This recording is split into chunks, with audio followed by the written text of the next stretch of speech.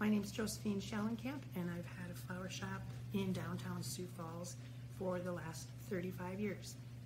My first job was in a flower shop as a freshman in high school. Uh, they had asked for extra help to wrap flowers during Valentine's Day, and I loved it. And as it turned out, I worked at that shop uh, for the next seven years.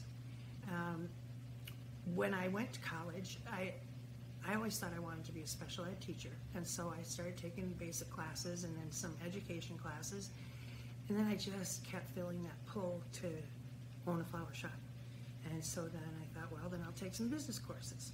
So I took business courses, and that didn't work either because I'm not a bookkeeper. I'm not an accountant. Um, so I ended up with a marketing degree that has helped me tremendously over the years. When I first got started, it was actually my senior year in college. Um, towards the end of the year, I started taking um, orders for weddings. And my first shop, if you want to call that, was actually in my parents' uh, basement laundry room. And I would take a shower curtain. I just shake my head when I think about this, but I would take a shower curtain and hang it, and then I would get a block of dried ice so that that would keep the area as cold as possible for the flowers. Um, so then I realized that, yep, this is it. I'm gonna, I want to do this. So I went to the SBA, uh, Small Business Association, and asked for a loan. And honestly, uh, the woman that interviewed me and helped me fill out the paperwork, and I had to do like a, a spreadsheet of what the first year income and all that would look like. Um, she actually said to me, and keep in mind this was 35 years ago, um, that if I was a guy, I wouldn't have gotten the loan.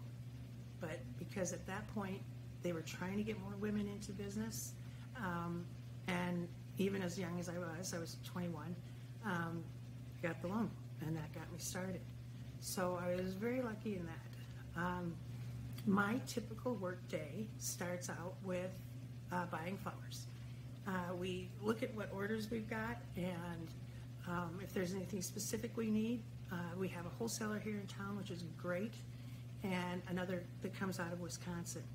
Um, I often think how unfortunate the smaller towns and smaller shops around the country or state even, um, how difficult it would be because they they only get one shipment a week.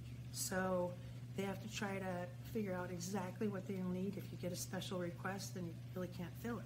If you weren't lucky enough to have that as part of your order. Um, for instance, today we had a funeral and they wanted pink roses. Well, I don't have pink roses, but we only had to run, you know, it's about six blocks from us to get some pink roses. So that's very convenient um, and helpful. Uh, then, usually, as we get through the day, unless the fresh orders keep us busy, then I'll end up doing some of the silk work. Um, we do a lot of custom work for people in offices, you know, making a centerpiece or a wreath that type of thing. Um, and I really enjoy that too. Uh, work ethic, I think probably the most important thing you can do if you're going to be an entrepreneur is just really be honest um, with everything. Um, because you really need to develop that um, people's opinion of you and their trust of you. Um, I know that, like, when when we have a complaint, for instance, I I believe that if you make someone happy, they tell one person. If you make someone mad, they tell three people. So the old saying of customers always right, it, it it's true. And even if you don't think they're right, you got to let them feel like they're right. Um, but this is how I always deal with it: is after they've vented or whatever is the issue, then I always say, "What can we do to make this right.